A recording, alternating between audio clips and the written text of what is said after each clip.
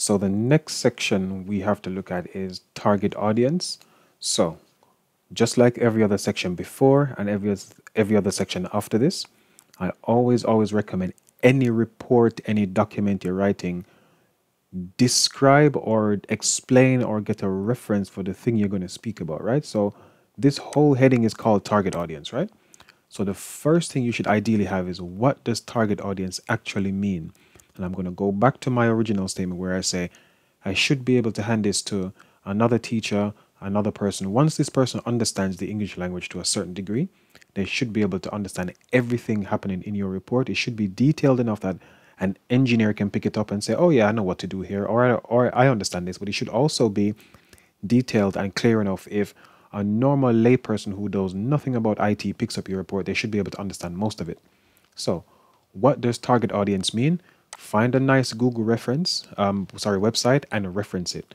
Now you can reference any way you want. I believe I've shown a few examples here. Yes. So this is the way I prefer doing it. It looks a lot neater, but if you do it this way as well, that's fine. But speak to your teacher. Your teacher will know exactly what to tell you is the best way that he or she wants it done. So here I have the list of things that I got from that document again. And the list of things are social networker, seeker, gamers, buyers, age profile, and gender.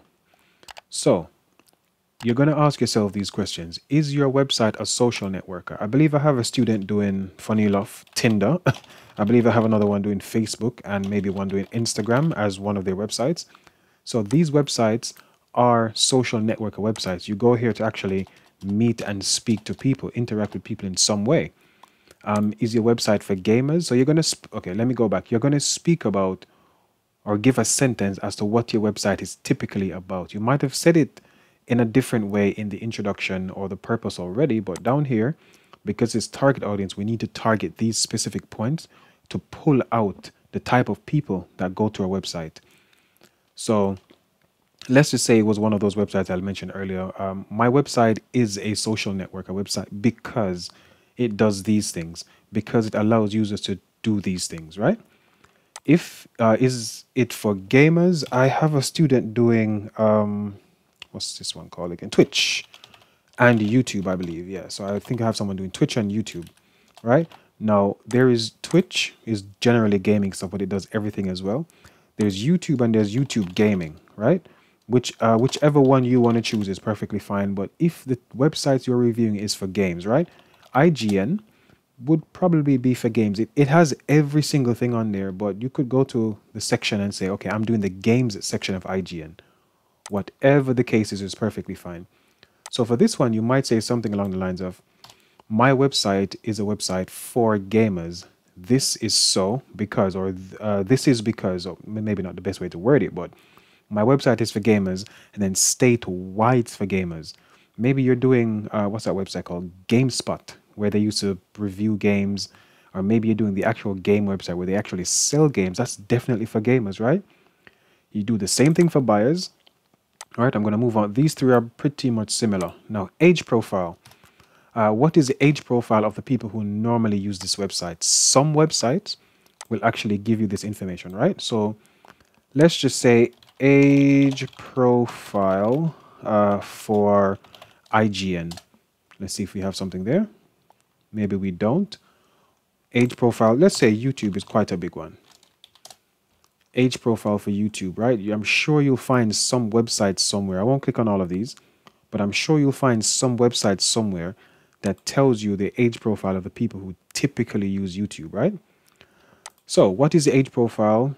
Um, or you could say, what is the age profile of people who like doing this thing in general, right?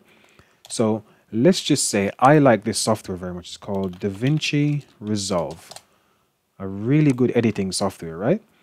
But I'm probably not going to find information about the type of people that use DaVinci Resolve, as in the age profile of people that use DaVinci Resolve. So the alternative, the alternative could be find the age profile of people who typically edit videos, right? So rather than speaking about this one specific item here, I can say the people, so uh, let me do age profile of most video editors. There we go. We have a nice age profile here.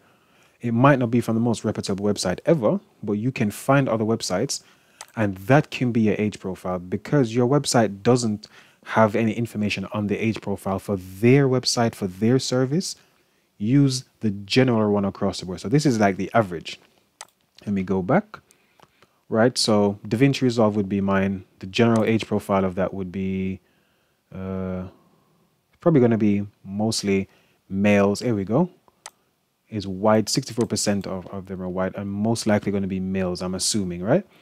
Uh, let's go back to the questions again. Uh, what is the gender profile? Again, more or less the same thing. Some websites will have a gender profile, some might not. If they do not have a gender profile, do exactly what I did here, which is what is the typical gender profile of people that use this service. I think I have another student doing Sky Sports and another sporting website. So, age profile of Sky Sports viewers right? Here we go. Uh, again, you're, you're going to find some information on some website somewhere that gives you information on the type of people that watch Sky Sports. Even if your website is about sports, but not exactly about Sky Sports, what you can do, as I've said, is look at the general audience for that type of thing. So, who are the people that typically watch the football, right? It's probably going to be young boys, um, middle aged men, and that's it. Uh, what kind of website is it? So, quick review for target audience, you're going to define what target audience is, then simply go into finding the target audience of the people who use this website, who use this kind of service. If you cannot find exactly for your website, you look for a general average across the UK, across the world, whatever you decide to use, but you have to reference it again. Whatever information you find anywhere, you reference it. So going back again, the type of people who typically watch football are probably going to be, I would say, teenage boys up to middle aged men. Reference that website. Sky Sports might not have that information on their website, but we know that we can go and look at other stats in other places to find similar information.